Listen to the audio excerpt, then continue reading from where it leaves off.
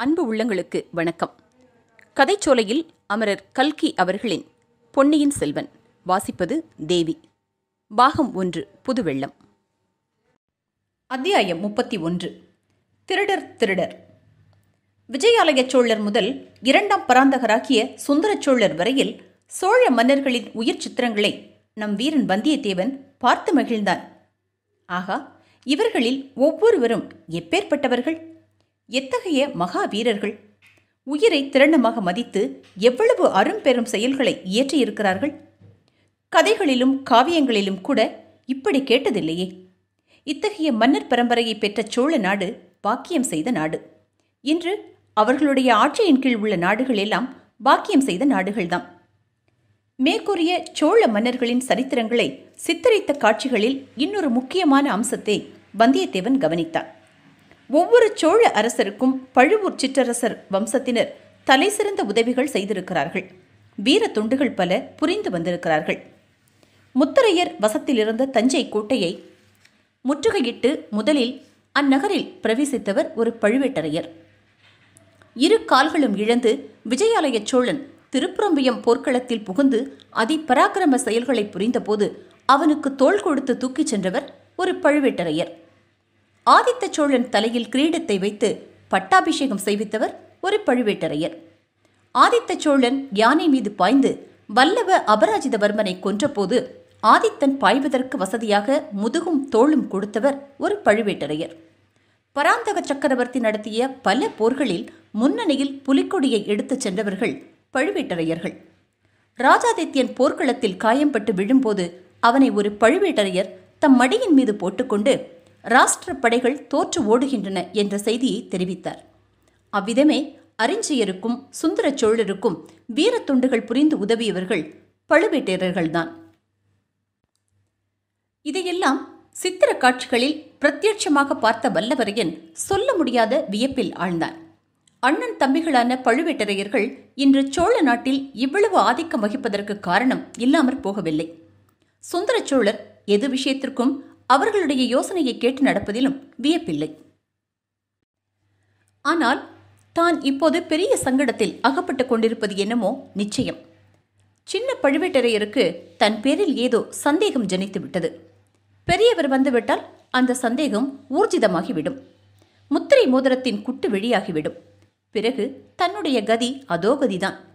சின்ன பழுவேட்டரையன் நிர்வாகத்தில் உள்ள தஞ்சாவூர் பாதாள சிறையை பற்றி வல்லவரையன் கேள்விப்பட்டிருந்தான்.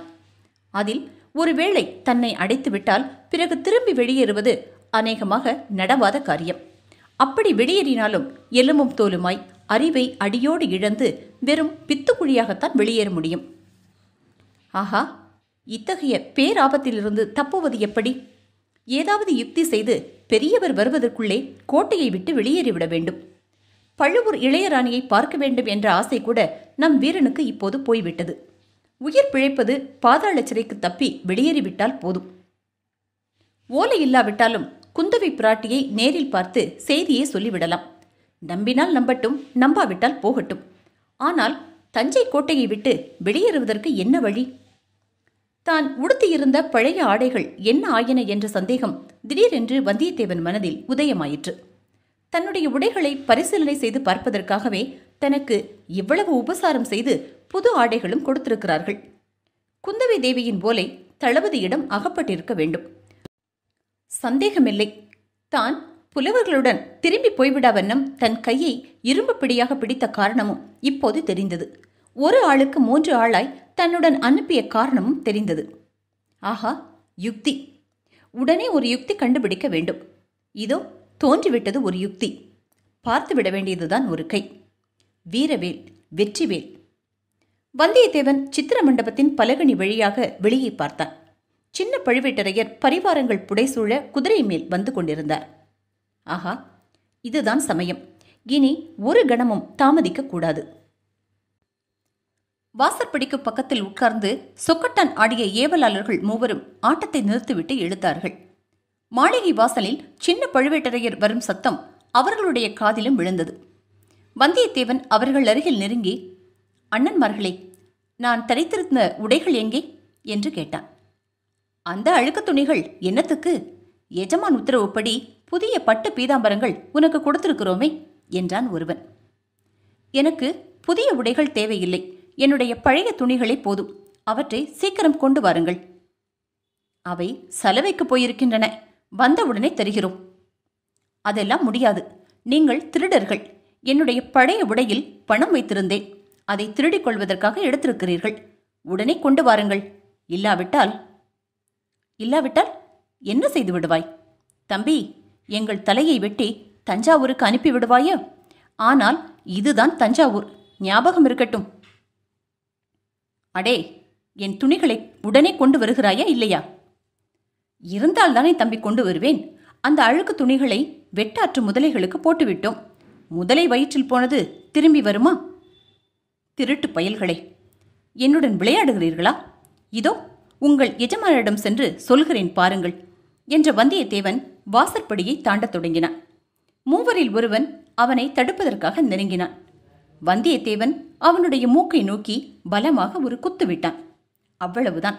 அந்த ஆள் மல்லாந்து கீழே விழுந்தான். அவன் மூக்கிலிருந்து ரத்தம் சொட்டத் தொடங்கியது. இன்னொருவன் வந்தியத்தேவனுடன் மல்யுத்தம் செய்ய வருகிறவனைப் போல் இரண்டு கைகளையும் முன்னால் நீட்டிக்கொண்டு வந்தான். நீட்டிய கைகளை வந்தியத்தேவன் பற்றிக்கொண்டு தன் கால்களில் ஒன்றை எதிராளியின் கால்களின் மத்தியில் விட்டு ஒரு முறுக்கு முறுக்கினான். அவ்வளவுதான். அந்த மனிதன் அம்மாடி என்று அலறிக்கொண்டு கீழே உட்கார்ந்து விட்டான். இதற்குள் மூன்றாவது ஆளும் நெருங்கி வரவே வந்தியத்தேவன் தன் கால்களை எடுத்துக்கொண்டு ஒரு காலால் எதிரியின் முழங்கால் மூட்டை பார்த்து ஒரு உதை விட்டான். அவனும் அலறிக்கொண்டு கீழே விழுந்தான். மூன்று பேரும் சட்டு புட்டென்று எழுந்து மறுபடியும் வந்தியத்தேவனை தாக்குவதற்கு வளைத்து கொண்டு வந்தார்கள். வெகு ஜாக்கிரதையாகவே வந்தார்கள். இதற்குள் மாளிகை வாசலில் குதிரை வந்து நின்ற சத்தம் கேட்டது. வந்தியத்தேவன் தன் குரலின் சக்தியெல்லாம் உபயோகித்து திருடர்கள் திருடர்கள் என்று சத்தமிட்டுக் கொண்டே அவர்கள் மீது பாய்ந்தான். மூன்று பேரும் அவனை பிடித்து நிறுத்த பார்த்தார்கள். மறுபடியும் திருட்டு பயல்கள் திருட்டு பயல்கள் என்று பெருங்குரலில் கூச்சலிட்டான் வந்தியத்தேவன். அச்சமயம் சின்ன பழுவேட்டரையர் இங்கே என்ன ரகளை? என்று கேட்டுக்கொண்டே உள்ளே வந்தார். இணைவோம் அத்தியாயம் முப்பத்தி இரண்டில் லைக் பண்ணுங்க ஷேர் பண்ணுங்க. கதைச்சோலை சேனலை சப்ஸ்கிரைப் பண்ணுங்க. நன்றி. நன்றி.